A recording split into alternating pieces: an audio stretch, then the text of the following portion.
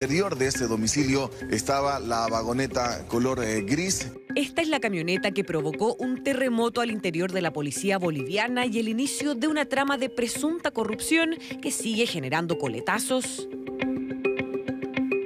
Una investigación de la sección Misión Encubierta dejó en evidencia el vínculo de agentes de ese país con la compra y venta de autos robados desde Chile.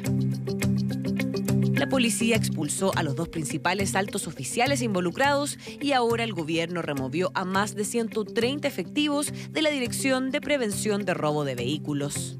A raíz de este tema, lógicamente vamos a intensificar el trabajo que se necesita en esas áreas para poder em, determinar si existe mayor cantidad de vehículos robados.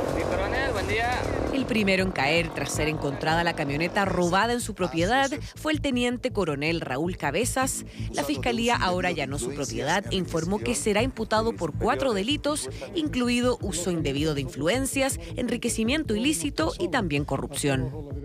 Estamos buscando indicios sobre la denuncia contra el coronel. ¿Se ha secuestrado documentación? No, para nada. ¿Qué se está llevando? Absolutamente nada. ¿Va a haber unos allanamientos de otra casa también, doctora? Se está llamando de forma simultánea.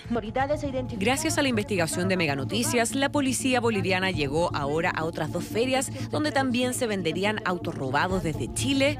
Aseguran que están trabajando con efectivos de inteligencia y que los operativos y patrullajes se van a intensificar en todas las ferias identificadas. Son los jueves y domingos en la feria de la 16 de julio, pero ahora esto ya se ha, se ha ampliado hacia otros oh, lugares. De ahí también hemos recuperado algunos vehículos que estaban reportados como robados, los cuales estaban siendo comercializados.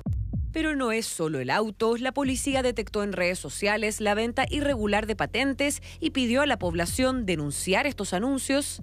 La investigación de Misión Encubierta reveló que de los más de 100 vehículos robados, 89 estarían hoy en poder de policías, militares y políticos en Bolivia. Todos estos son vehículos robados que están en el municipio de Santa Cruz de la Sierra. ¿Cuántos vehículos son? 112. El gobierno boliviano pidió sanciones para los funcionarios involucrados y anunció la realización de operativos sorpresa contra los autos indocumentados. Nuestro gobierno va a tomar con total drasticidad todas las acciones legales que correspondan, de investigar, de procesar y de sancionar con todo el rigor de la ley. Aunque algunos también mostraron su molestia. Un grupo de mercenarios chilenos entren al país, hagan lo que les dé la gana, no acepten que entren por donde les da la gana, salgan por donde la gana, recuperen un vehículo, se lleven al vehículo, faltaba que se lleven a, a personas más.